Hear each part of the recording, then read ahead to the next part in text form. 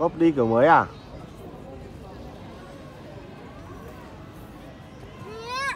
Đang quay đây. Mạnh nữa hả?